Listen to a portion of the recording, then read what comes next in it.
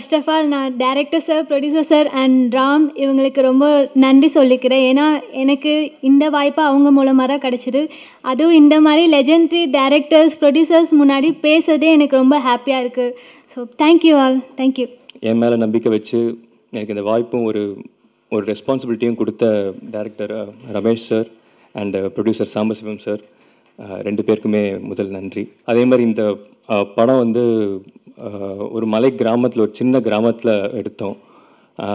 அந்த ஊர் மக்கள் அவங்க வந்து எங்கள் கேஸ்ட் அண்ட் க்ரூ எல்லாம் எல்லாரையும் தாண்டி அவங்க டெய்லி எங்கள் கூட வந்து அவங்களால முடிஞ்ச ஹெல்ப்பை அவ்வளோ ஹெல்ப் பண்ணாங்க. ஸோ அவங்களுக்கும் நன்றி. கண்டிப்பாக இந்த படம் ஒரு முக்கியமான விஷயத்தை பற்றி பேசுகிற படம். ஸோ அதனால் எல்லோரும் கண்டிப்பாக இந்த படத்தை பார்த்து சப்போர்ட் பண்ணணும். தேங்க்யூ அடவி படக்குழுவினர் அனைவருக்கும் வணக்கத்தை தெரிவித்துக் கொள்கிறேன். நான் நிறைய படம் ஒர்க் பண்ணியிருக்கேன். ஆட்டோகிராஃப் பள்ளிக்கூடம் அழகி சத்தம் போடாதே இந்த மாதிரி. ஒரு படமும் ஒரு ஒரு மாதிரி. இந்த படம் வந்து ரொம்ப வித்தியாசமான ஒரு ஃபிலிம் சொல்லப்போனால் எடிட் பண்ணோன்றதை விட செதுக்கி எடுத்திருக்கோம். அதுக்கு உதாரணம் நம்ம பார்த்துருக்கோம். அந்த ட்ரெய்லர்ஸ் ப்ளஸ் அதில் அவார்ட்ஸ் என்னென்ன கிடச்சிருக்குன்னு போட்டிருக்கோம் இன்விடேஷனில் இன்னும் நிறைய அவார்ட்ஸ்க்கு அது நாமினேட் பண்ணியிருக்கோம். இது ஒரு பொலிட்டிக்கல் காசு உள்ள ஃபில்மு ரொம்ப நல்லா வந்திருக்கு. இப்போ ஆடியோ ரிலீஸ் ஃபங்க்ஷன் இந்த படம் ஓடி நூறாவது நாளில் திரும்ப உங்களை மீட் பண்ணுவேன்னு நினைக்கிறேன். நன்றி. உங்களை பொறுத்த வரைக்கும் சின்ன டைரக்டராக தெரியலாம்.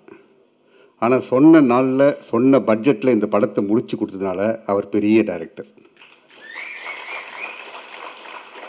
என்னை பொறுத்த வரைக்கும் ஜெயிக்கிற படம் பெரிய படம் தோக்கிற படம் சின்ன படம். எத்தனையோ பெரிய படங்கள் ரிலீஸ் ஆனது பிறகு சின்ன படங்களாக இருக்குது எத்தனையோ சின்ன படங்கள் ரிலீஸ் ஆனதற்கு பிறகு மிகப்பெரிய படமாக இருக்கு அப்படித்தான் இந்த அடவி திரைப்படமும் ரிலீஸ் ஆன பிறகு மிகப்பெரிய திரைப்படமாக கொண்டாடப்படும் என்ற நம்பிக்கை எனக்கு இருக்கிறது. அதற்கு உங்களுடைய ஆதரவும் உங்களுடைய ஒத்துழைப்பும் தேவை என்று வேண்டுகோள் வைத்து வாழ்த்துக்களுடன் நன்றி கூறுகிறேன். வணக்கம். இந்த படத்துக்கு வந்து as a full music director கம்போசராக வந்து ஒர்க் பண்ணுறதுல எனக்கு வந்து ரொம்ப என்கரேஜ் பண்ண வந்து நீங்கள் பண்ண முடியும்னு சொல்லி சொன்னது வந்து டைரக்டர்ஸ் டைரக்டர் சாரும் ப்ரொடியூசர் சார் சாம்பசிவன் சார் ரொம்ப என்கரேஜ் பண்ணி இது நீங்கள் பண்ணலாம் அப்படின்னு வந்து இது பண்ணாங்க. வெரி ஹாப்பி um, இந்த டைமில் வந்து ஆல் இங்கே வந்திருக்க எல்லாருக்குமே வந்து என்னோட நன்றி தெரிவித்துக்கிறேன். அட் தி சேம் டைம் என்னோடய ஃப்ரெண்ட்ஸ் ஃபேமிலி மெம்பர்ஸ் எங்கள் அம்மா அப்பா அப்புறம் என்னோடய மியூசிஷியன்ஸ் எல்லாமே வந்து நல்லா ஹெல்ப் பண்ணி இந்த படத்துக்கு வந்து they have done great help for me thanks for this opportunity sir cameramen படம் பண்ணும்போது இன்னொரு விஷயம் என்னென்னா இப்போ ஊட்டி அழகாக காமிக்கிறதுங்கிறது வேறு. அது இப்போ திருச்சி புதுக்கோட்டை விழுப்புரம் எங்களுடைய சாதாரண ஊர்களை அதோடைய தன்மையோட அதோடைய கலர் மாறாமல் கொண்டுட்டு வரங்கிறது வேறொரு தன்மை. அது வந்து எனக்கு சார் எனக்கு பெரிய பழக்கம் இல்லை. வந்தவன் தான் கேட்டேன். ரமேஷ்ஜின்னு போட்டிருக்கேன் அப்படின்னா கன்ஃபார்மாக இவர் இவர் திருடா திருடி கேமராமேன் அப்படின்னு கேட்டேன். அப்போ சொன்னாங்க ஏன்னா நான் ஸ்கூல் படிக்கும்போது ரொம்ப பெருசாக கொண்டாடின ஒரு படம். திருடா திருடி. அது தனுஷ் வந்து காதல் கொண்டேனில் ஒரு பெரிய ஆக்டராக வந்த பிறகு நம்ம எல்லார்ட்டையும் காமன் மேன் கூட பெருசாக தனுஷ் கனெக்ட் ஆனது அந்த திருடா திருடி படத்தில் தான். அது பெரிய டெக்னிக்கல் ஹைட்டான படம் கிடையாது.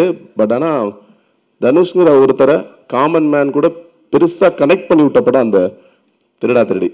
இன்றைக்கி வந்து ஒரு அசுர வளர்ச்சியில் ஒரு பிஹெச்டி படிக்கிற ஒரு பெரிய ஸ்டூடெண்ட்டாக இன்றைக்கி அவர் இருக்காரு. அன்னைக்கு ஒரு ரெண்டாம் கிளாஸ் வாத்தியார் மாதிரியாவது அவர் வந்து ஒரு இடத்துலேருந்து வேறு இடத்துக்கு கனெக்ட் பண்ணிவிட்டு ஒருத்தர் எனவே ரமேஷ்ஜி சாருக்கு என்னுடைய வாழ்த்துக்கள். படக்குழு எல்லாருக்குமே என்னுடைய வாழ்த்துக்கள். படம் ஆரம்பத்தில் நிறைய அவார்ட்ஸ் நாமினேஷன்ஸ்க்கு வந்திருக்கு. கன்ஃபார்மாக ஏன்னா முக்கியமாக அது பெரிய அரசியல் பேசுது. ஏன்னா படத்துடைய விஷயம் பார்க்கும்போதே தெரியுது. பேச வேண்டிய ஒரு நேரத்தில் சரியான விஷயத்த பேசும்னு நம்புகிறேன் எல்லாருக்கும் என்னுடைய வாழ்த்துக்கள். நான் வந்து அடைவினா என்ன அப்படின்னு சொல்லி கேட்டேன்.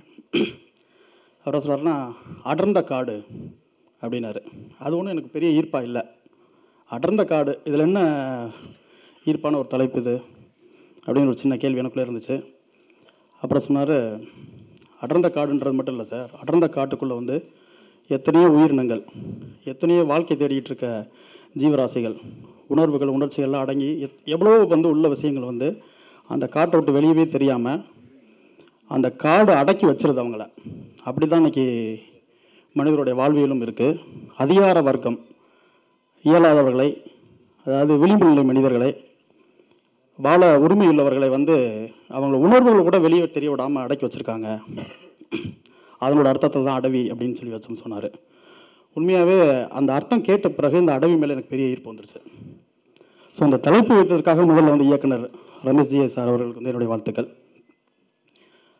இப்போ வந்து எல்லாருமே இந்த ட்ரெய்லர் பார்த்தோம் சாங்ஸ் பார்த்தோம். எனக்கு சாங்ஸ் பார்க்கும்போதெல்லாம் வந்து இளையராஜா சாருடைய சாயல் இருந்துச்சு. நம்ம மண் சார்ந்த நம்ம உணர்வு சார்ந்த வாழ்வியல் நம்மளுடைய இசை அதில் கேட்டுச்சு எனக்கு. இசை வந்து நிறைய கம்ப்யூட்டர் சைட் நிறைய நம்மளுடைய தமிழ் இசையை மிஸ் பண்ணிட்டு போயிட்டுருக்கு நிறையா. அது இல்லாமல் நம்ம இன்ஸ்ட்ருமெண்ட் இருக்கணும் நம்மளுடைய வாழ்வியல் நம்மளுடைய இசை நம்மளுடைய கலாச்சாரம்லாம் இருக்கணுன்றது ஆசை. அது இந்த சாங்கில் பார்த்தேன். புது வருஷத்தில் இந்த சாங் கேட்டது ரொம்ப சந்தோஷமாக இருக்குது இசையும் பலருக்கு என்னுடைய வாழ்த்துக்கள். ஒரு படைப்பு அப்படின்றது வந்து என்னுடைய சின்ன கருத்து என்னென்னா ஏதோ ஒரு நாலு பாட்டு எடு பாட்டு இருந்துச்சு ஒரு ரெண்டு ஃபைட் இருந்துச்சு ஒரு ரெண்டு மணி நேரம் போனோம் நம்மளோட பிரச்சனைகளை மறந்துட்டு சந்தோஷமாக இருந்துட்டு வந்தோம்ன்றதா இருக்கக்கூடாது. நம்மளுடைய வாழ்வியல் சார்ந்த நம்மளுடைய உரிமைகளை நம்மளுடைய பிரச்சனைகளை நம்மளுடைய உறவு சிக்கல்களை வந்து இங்கே பேசுகிறதா இருக்கணும். ஒரு படம் பார்த்துட்டோம் அப்படின்னா அது ஒரு திரைப்படமாக நம்ம மனசில் இருக்கக்கூடாது. நம்ம நேரடியாக போய் ஒரு சம்பவத்தை ஒரு நிகழ்வை பார்த்துட்டு வந்ததாக அந்த ஒரு பாதிப்பு கொஞ்சம் நேரமாக நம்ம மனசுக்குள்ளே இருக்கணும். அந்த ஒரு படம் பார்த்தா என்ன பாதிப்பு நமக்குள்ளே இருக்கணுமோ அந்த பாதிப்பு எனக்கு இந்த ட்ரெய்லர் பார்க்கும்போதே இருந்துச்சு. ஸோ அந்த கிளீனில் இருக்க என்னுடைய வாழ்த்துக்கள். இன்றைக்கி வந்து ஒரு திரைப்படம்ன்றது இப்போ சினிமா சார் சொன்னார். ஏவிஎம் செட்டுக்குள்ளே ஸ்டுடியோக்குள்ளே இருந்த சினிமா வந்து பாரதிஜா சார் தான் முதல் முறையாக கிராமங்களை நோக்கி யதார்த்தமான மனிதர்கள் நோக்கி எடுத்துகிட்டு போனார். இப்போ வர யதார்த்தமான படங்கள் எல்லாமே வந்து அவர் போட்ட விதையுடைய விழுதுகள் தான். இப்போ நான் என்னுடைய சுந்தரபாண்டியன் எடுக்கும்போது எனக்கு வந்து பாரத சாருடைய பெரும் பாதிப்பு எனக்கு. அதனால தான் நான் வந்து தேனி பகுதியில் போய் எனக்கு தேனிக்கு சம்மந்தம் கிடையாது. ஆனால் தேனியில் போய் அந்த படத்தை எடுத்ததுக்கூடிய மிக முக்கிய காரணம் வந்து பாரத சாருடைய படைப்புகள் அவர் தான் ஏன்னா இந்த மேடை அவர் இருக்க மேடையில் நான் சொல்லணும்னு ஆசைப்பட்டு சொல்கிறேன் அதே மாதிரி அவருடைய படங்களில் வந்து எடுத்தவுடனே கையெடுத்து கும்பிட்டு என் இனிய தமிழ் மக்களே அப்படின்வார் அதாவது ஒரு சூப்பர் ஸ்டாருக்கு என்ன கிளாப்ஸ் கிடைக்குமோ அதை விட ஒரு நாலு மடங்கு அரங்குகள் அந்த சத்தம் கேட்கும். அதெல்லாம் கே கேட்டு வளர்ந்தவங்க நாங்கள் அதோட பாதிப்பில் நானும் என்னுடைய ரெண்டு படங்கள் எடுத்த உடனே படத்தில் சமுத்திரகணி சார் அடுத்த படத்தில் இன்னொருத்தர் வச்சு பேச வச்சு தான் படம் ஆரம்பிப்பேன். அது வந்து அவருடைய பாதிப்பு தான் அந்த யதார்த்தமான வாழ்வியலை விதை விதைச்ச பாரதி சார் இருக்க மேடை அவருடைய விழுதுகளாக இன்னும் நம்ம பதியப்படாத சொல்லப்படாத கதைகள் நிறைய இங்கே இருக்குது. அதுவெல்லாம் தொடர்ந்து திரைப்படமாக பதிவு பண்ணோம். தொடர்ந்து மக்கள்கிட்ட வந்து ஒரு புரட்சிகரமான விதைகளை. இந்த படம் ஒரு அரசியல் பேசியிருக்கு. மக்களுடைய வாழ்வுரிமை பற்றி பேசியிருக்கு. நிச்சயமாக ஒரு படைப்புன்றது இப்படி தான் இருக்கும். நிறைய விருதுகள் வாங்கியிருக்குன்னு சொல்கிறாங்க நிச்சயமாக இன்னும் நிறைய விருதுகள் சர்வதேச விருதுகள் இந்த படத்துக்காக காத்திருக்கு நான் நம்புகிறேன் படத்தினுடைய அத்தனை குழுவில் இருக்கும் வாழ்த்துக்கள். வினோத் எனக்கு நான் மகாநல்ல பார்த்துருக்கேன் நான். அவருக்கு வந்து நந்தா மிகப்பெரிய அடையாளம். இந்த படம் வந்து நிச்சயமாக வந்து அதை தொடர்ந்து ஒரு போராடிட்டு இருக்காரு. ஒரு பெரிய இடத்துக்கு வரணும்னா. நிறைய நடிக்க தெரியாத நடிகர்கள்லாம் ஒரு முக்கியமான இடத்த பிடிச்சிட்டு இருக்காங்க. அது வந்து கால சூழல்கள் தான் காரணம். நடிக்க தெரிஞ்ச வினோத் மாதிரி ஆட்களுக்கான களம் அதை அவங்களுக்கான இடம் நிச்சயமாக அவங்க கைக்கு வந்து சேரும் நான் நம்புகிறேன் இந்த புது வருஷத்தில் அது நடக்கட்டும். அனைவருக்கும் வாழ்த்துக்கள். நன்றி. கமர்ஷியல் எலிமெண்ட்ஸ் படத்தில் எடுக்கும்போது வந்தவொடனே சார் மற்றதெல்லாம் பற்றி கவலைப்பட வேண்டாம். படம் பண்ணுறோம் அதுக்கப்புறம் தென் அதுக்கப்புறம் அடுத்த விஷயம் பார்த்துக்கலாம் அப்படின்னு சொல்லி தான் படம் பண்ணோம். ரொம்ப ஷார்ட் பீரியடில் பண்ணோம். அந்த ஷார்ட் பீரியடில் பண்ணதுக்கு வந்து மிச்சம் என்னோட ஆர்டிஸ்ட் மெயினாக தேங்க்ஸ் சொல்லி ஆகணும் எல்லாருமே. ஷூட் முடிச்சு வீட்டுக்கு போனவொடனே ரூம் போய் யோ அவருக்கு ஒரு க்ளோஸ் அப் வச்சிருக்கலாமே அப்படின்னு தோன்ற அளவுக்கு ஒவ்வொருத்தவங்களும் வந்து அவ்வளோ பர்ஃபார்மன்ஸ் அவ்வளோ நல்லா இருந்தது. அதனால அவ்வளோ ஃபாஸ்ட்டாக முடிக்க முடிஞ்சது படத்தை. அண்ட் um, சரத் ஜரா பற்றி நான். நல்ல பொட்டன்ஷியல் இருக்கிற மியூசிக் டைரக்டர் ஃபியூச்சரில் கேன் சி நல்ல நம்பர்ஸ் கண்டிப்பாக கிடைக்கும். நல்லா பண்ணுவார். அப்போ இதெல்லாம் வந்து அடுத்த கட்டத்துக்கு ப்ரொடியூசர் போகணுன்னா நம்ம நம்மளோட ஹெல்ப்பும் தேவைப்படுது. இது வரைக்கும் நிறையா பத்து அவார்டு கேட்டால் வாங்கியிருக்கேன் இன்டர்நேஷனல் அவார்ட்ஸ் பத்து அவார்டு வாங்கியிருக்கோம். நான் நாமினேட் ஆகியிருக்கேன் இந்த ஏப்ரல் வரைக்கும் நடக்க இருக்கிற எல்லா ஃபங்க்ஷன்லையும் நம்ம திருப்பி நாமினேட் பண்ணியிருக்கோம். திருப்பி ஃபர்தராக கிடைக்கணும்னு எதிர்பார்த்துட்டு இருக்கோம். இந்த விஷயம் வந்து ஃபர்தராக போகிறதுக்கு உங்களோட ஹெல்ப் நிச்சயமாக தேவைப்படும் for the release of the movie ரொம்ப நன்றி. Thanks for coming thanks sir அடவின்னா என்ன அப்படின்னா வனம் தெரியும் வனாந்தரம் தெரியும் அடர்ந்த காடுலாம் தெரியும். அடவிங்கிறது நல்ல தமிழ். எனக்கே புரியல முதல்ல அடவின். அப்புறம் அந்த எழுத்தாளர் ஃபோன் பண்ணி அடவின்னா என்னம்மான்னு அடர்ந்த கால். ஏன்னா தமிழ் நமக்கே தெரியல. அவ்வளோ அழகாக அதை இது பண்ணாங்க. இந்த படம் பார்த்தேன். பாவம் தயாரிப்பாளர். எவ்வளவு துணிச்சலுங்க உண்மையிலே ரமேஷ் நம்பி இந்த படத்தை கூட ஏன்னா இந்த கதையை கேட்டால் கமர்ஷியலாக ஏதாவது இருந்தால் பரவாயில்ல. எது சம்பாதிக்கலாம்? இது அப்படி இல்லை. நல்ல எண்ணத்தோடு செய்திருக்கிறது. அதான் இருக்கும் ரெண்டாவது அந்த மண்ணை நேசித்து அந்த அடர்ந்த காடை நேசித்து நேசிக்காமல் அந்த படம் பண்ண முடியாது. அந்த டைரக்டரும் மாதிரி இது சம்மந்தப்பட்டவர்கள் மியூசிக் டைரக்டர் கூட அங்கே வாழ்ந்த மாதிரி இருக்கும். அந்த ம அந்த இப்போ நான் மண் வாசனைனா மண் வாசனை அது வேறு. இந்த அடர்ந்த அந்த வனாந்தரத்தில் அந்த ஊட்டியில் அந்த மக்களோட இருந்து அப்படியே பிசைஞ்சு கொடுத்த மாதிரி இருந்துச்சு இந்த படம். ஹேட்ஸ் ஆஃப் யூ ஏன்னா அதில் இவங்களுக்கு தான் ஒரு சிலரை தவிர பாக்கி எல்லாம் அங்கே வாழுகின்ற மக்கள். அந்த முகங்கள் அப்படியே அந்த வனாந்தரத்தில் வாழ்கிற அந்த மலைவாழ் மக்களை வச்சு சூப்பராக இருக்கும். நம்ம எப்படி யதார்த்தமாக போய் வில்லேஜில் அப்போ வந்த போனவெல்லாம் எடுத்து எடுப்போமோ? அதே மாதிரி அங்கே நாலு ஆர்டிஸ்ட்டை தவிர அஞ்சு ஆர்டிஸ்ட்டு அதை தவிர பாக்கி எல்லாம் லோக்கல் பீப்புள் ரொம்ப அழகாக இருந்தது அது ஒரு ஸ்மெல் இருந்தது. ஹில் ஸ்மெல் ஒரு படம் பார்த்தா அந்த ஃபீல் வரணும். அது இருந்தது. நல்ல காரியத்திற்காக பண்ணீங்க. அதுலேயும் ரொம்ப குறைய சொன்ன நம்ம பட்ஜெட்டை சொல்லக்கூடாது. இவ்வளவு குறைந்த பட்ஜெட்டில் படம் பண்ண முடியுமான்னு எனக்கே தெரியல. ஹேட்ஸ் அப் டு யூ ஒளிப்பதிவும் சரி. அந்த நம்மளே வி ஆர் லிவிங் இந்த பிளேஸ் வித் தோஸ் பீப்புள்ங்கிற மாதிரி இருக்கு.